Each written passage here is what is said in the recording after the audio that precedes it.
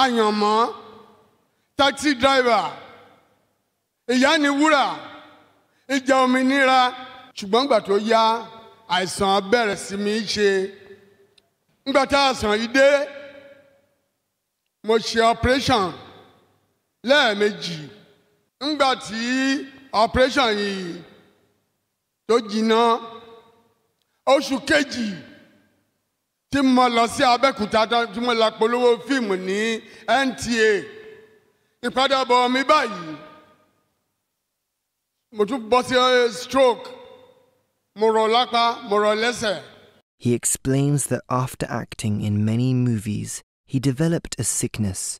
When this sickness started, he had to be operated twice, and when he recovered, he traveled to Abeokuta in order to advertise a film at NTA. But after two months, he returned and later developed a stroke. Both his hands and legs were paralyzed.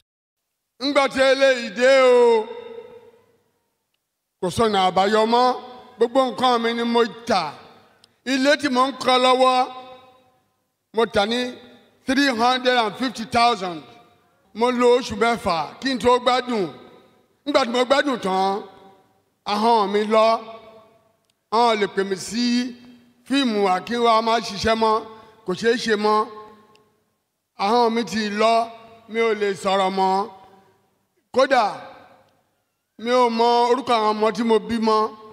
He explains how he had to sell all his properties, including an uncompleted building, for 350,000 naira.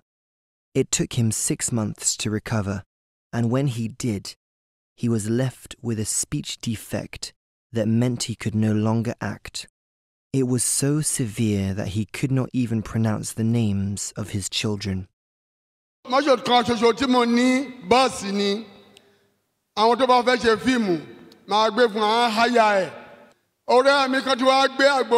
máa fi ta àgbo mo ń fi ta kiri mo ń ta tí wọ́n bá ti rí mi à bàbá ẹ ṣiṣẹ́ mọ́ ni ẹ ṣeré mọ́ ni. Àgbo ilẹ̀ tí ń tà mo ní ṣe máa sáà jẹun àbí kí n kú báyìí ni. Nígbà tí mo ro ìrànlọ́wọ́ gbogbo àwọn tí wọ́n rí mi nínú fíìmù wọ́n rò pé èèyàn burúkú ni mí ni. Nítorí pé bí olè bí apààyàn kí n gbé ọmọ kí n má bá wọn àjẹṣe ìpàdé kí n má ràn wọ́n lọ́wọ́ kí n má bá wọn pààyàn iṣẹ́ tí mo ń ṣe nìyẹn. So kò sí olùrànlọ́wọ́ fún mi.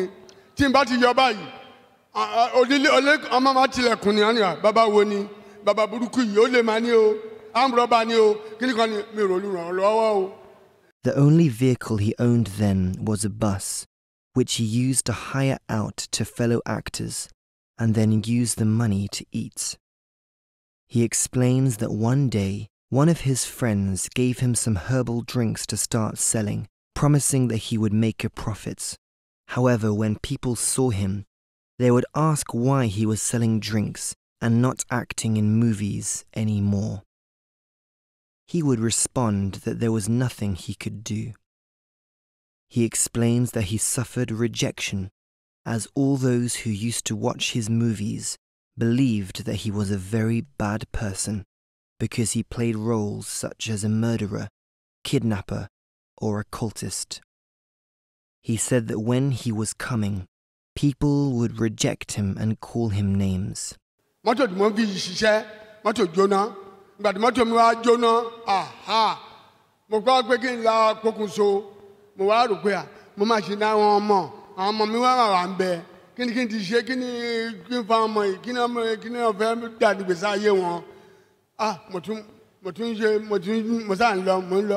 mo wá rò títí.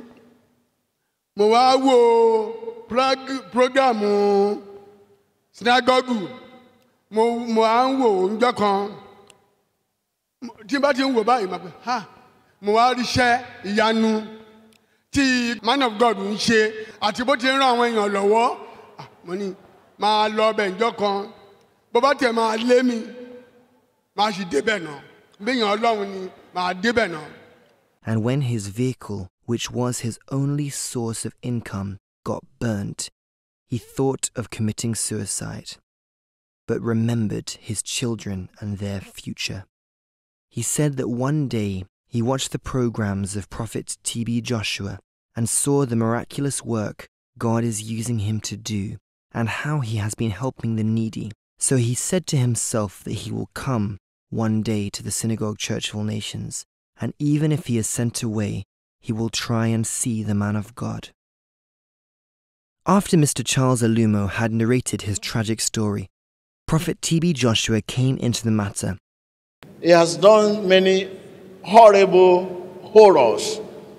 You cannot just imagine that this man can be doing this and is not diabolic. As a result of this, he received attacks. Now, if people like me do not help this man, I don't think anybody will help him. Everybody is afraid of coming to his life because of what he has done in terms of fame. He's delivered and he will not do that kind of horrible thing again. Now it's past now. He has given his life to Jesus and he will continue to live this way the rest of his life.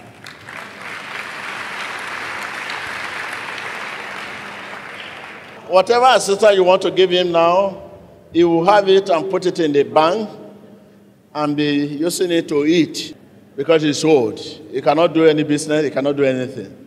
So, and I know by the time I challenge you, I know many people will meet him and support. I want to give him 500,000 naira.